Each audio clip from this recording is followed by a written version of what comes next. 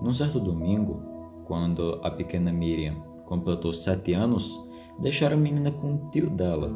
Os pais tiveram de viajar para ir ao mercado, pois na região onde moravam não havia nenhum próximo e os suprimentos básicos estavam acabando.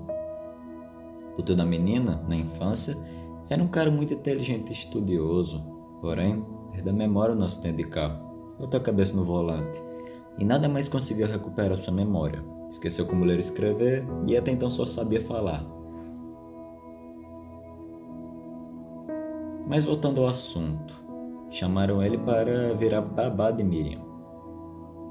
E os pais sabiam que havia entregado Miriam em mãos erradas, mas deram uma chance ao teu dólar. Nunca na vida teve sequer um filho, então não teve chance alguma de obter experiência para cuidar de uma criança. Mas as mulheres de sua cidade só se interessavam por homens ricos, e ele era muito rico, mas era muito feio.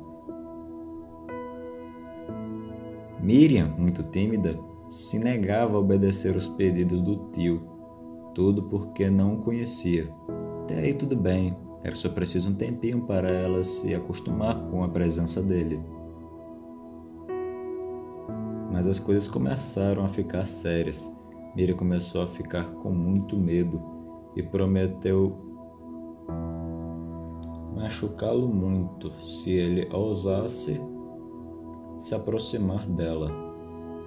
Mas no final das contas, a inocente Miriam acabou se acostumando com a ausência dos pais. Cedeu então aos cuidados do tio e adorava brincar com ele do lado de fora. Gostava também de dar-lhe sustos, se passando por desmaiada, ou se escondia no quarto do andar subterrâneo para fazer com que o tio pensasse que ela estava desaparecida.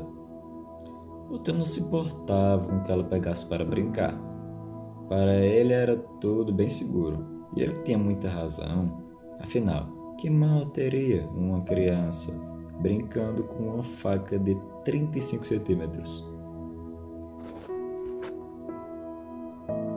E foi isso que aconteceu. Mira estava no andar subterrâneo, brincava com suas bonecas, acabou ficando entediada, foi até a cozinha e pegou o facão. Acabou se cortando. Foi um corte bem pequeno, mas foi o suficiente para achar que era o fim de sua vida. E o tio se apavorou junto. Ele também jurava que seria o fim do mundo para ela. O sangramento durou cinco minutos e Miriam ficou pálida.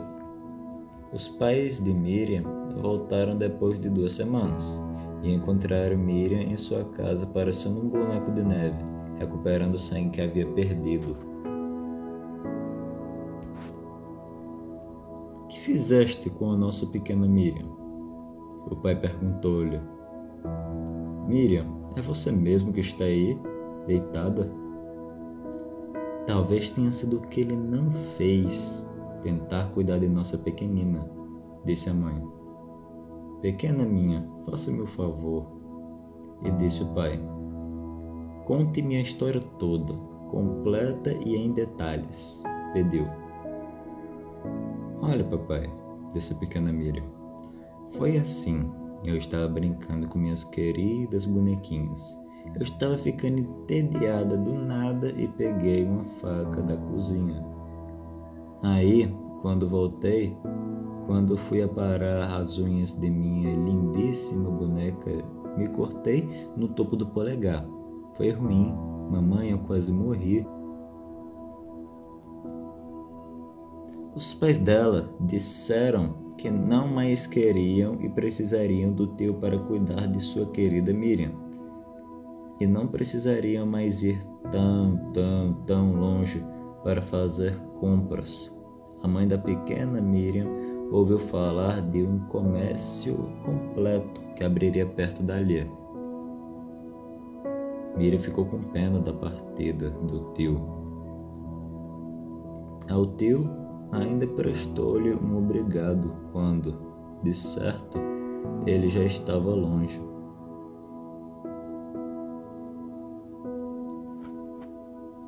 O tio correspondeu ao obrigado, mas apenas balançando o braço também como um sinal de gratidão.